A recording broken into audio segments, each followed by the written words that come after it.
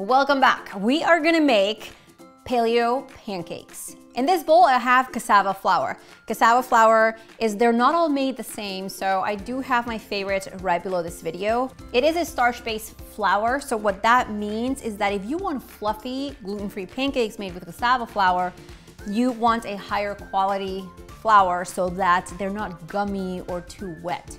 So our baking powder is the next thing that I'm gonna add into our flour. It will give that fluff and that rice that we all love about pancakes. And then just a pinch of salt. Just mix these guys up. Up next is some milk. You can make this recipe dairy-free by using your favorite dairy-free milk alternative. That will work too.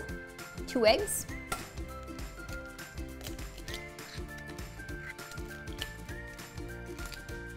and some melted butter. The melted butter is optional, so if you are trying to keep these pancakes dairy-free, you could use coconut oil or omit it completely, or whisk. So the thing about pancake batter is you don't wanna overmix it. So you don't wanna start with big circles, you wanna start in your middle to mostly break up the eggs and get those whisked up. And after that, you're going to incorporate the rest of the flour into the batter by going in big circles. I have a ton of pancake recipes on this channel, so if you are a pancake fanatic, make sure to check out the playlist that I will link right below this video. The measurements, of course, are always located in the link right below the video. Something really important with this batter is to let it sit for about five minutes so the cassava flour can absorb the liquid ingredients a little bit before we get started on our pan. All right guys, it's been five minutes and as you can see, our pancake batter has absorbed a lot of the liquid. So that's when you know you are ready to make your pancakes. All right, so I have a pan here that I'm going to turn on medium heat and I'm gonna add some butter to my pan. Maybe you're using spray or uh, a vegetable derived to keep this recipe dairy free.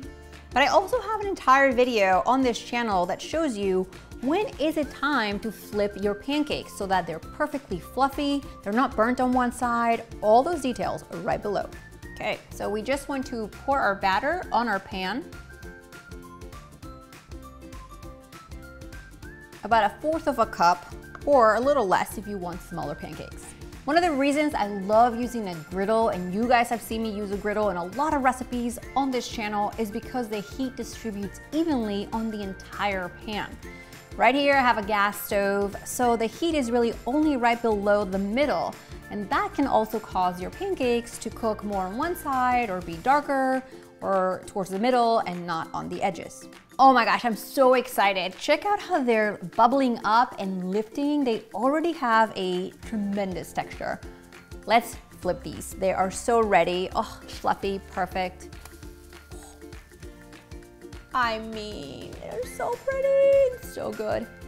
You guys, I'm so excited because these pancakes, they really just fluffed up. They have the perfect texture and one of the toughest things about paleo recipes or gluten-free recipes for pancakes is that you often don't know what they're gonna turn out like. And if you have a nut allergy, we're not using almond flour. Cassava flour is gluten-free, nut-free. It's a root, so it's a starch.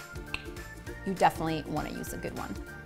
I'm gonna take these off the griddle and pile them up. Now, I'm gonna give you a good trick so the rest your first batch is always pretty, but the rest you're like, oh, they're always so brown. That's because your butter or oil has already kind of turned brown and that is gonna interfere with your batter. So a quick trick is to take a paper towel and wipe it down. I've turned off my fire and I'm gonna take a paper towel and just absorb some of that burnt grease like that. So that obviously is not gonna make your pancakes look really great. Now, if you put butter or oil and it's immediately turning brown, that's because your pan is too hot. You could also pause your batch and let it cool down a little bit before you pour your, the rest of your batter. I love this pancake recipe for our family Kickstart program, which you can find out more below. It helps you eliminate processed foods and sugars from your family's diet and this recipe is a winner with everyone in the family. Epic, you guys, check them out. So perfectly, they stack great. They are a hit. And yes, they can be frozen, and yes, they can be thawed out and heated up. You can make a huge batch. Mm -mm. Let's try these out. All right, guys, check these out. Let's give them a try. That texture. Mm. I debated whether to show these to you first or take a taste. I decided to try them. Now it's your turn. Perfectly fluffy. They have crispy edges, cooked through. This pancake recipe, I mean, it's paleo, it's made with cassava flour, it's everything we love about classic pancakes. You don't miss a thing, no funny textures. Make sure to grab the recipe and subscribe to the channel so you and I get to make delicious meals like this one every single week. See you next time.